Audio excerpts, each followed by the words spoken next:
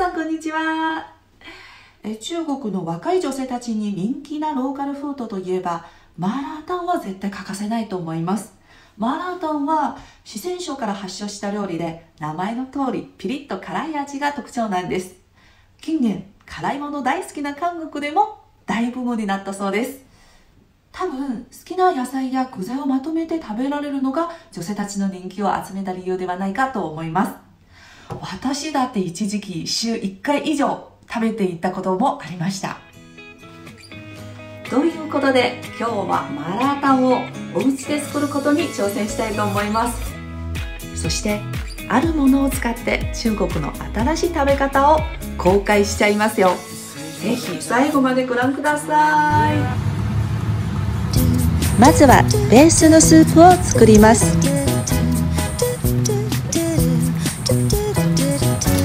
ネギと生姜を軽く炒め香りが出たら火鍋の素を入れます。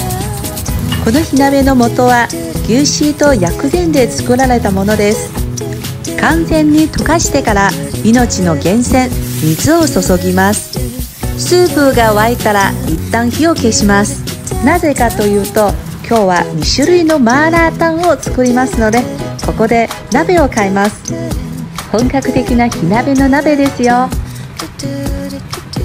半分はさらに水を足します。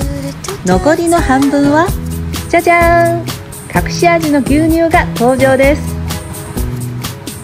そう牛乳入りのマーラータンが中国では今流の食べ方なんですよ。最後はお好みの具材を入れて煮込みます。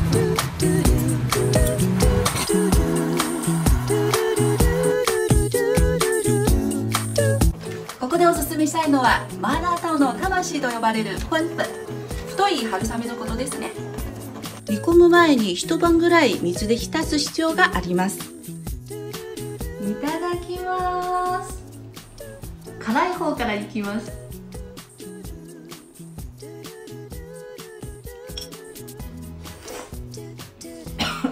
辛い辛いけどうまいこれがコンフです。あの芋から作られていて味が染みやすくて箱代も抜群。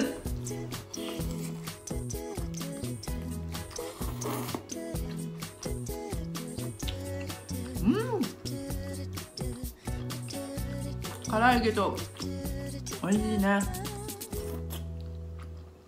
うん。辛い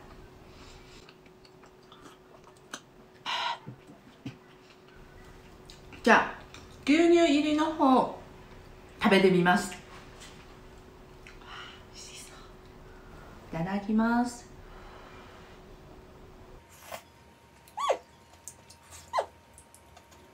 普通のより濃厚です。コクがありますね。なるほど。牛乳を入れることによって辛さもだいぶ抑えられたような気がします。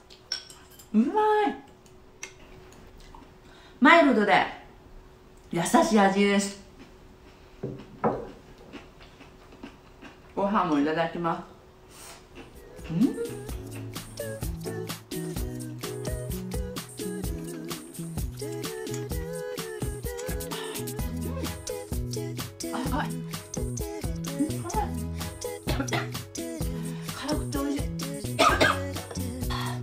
涙が出ますね。辛くて美味しい。それはまたね。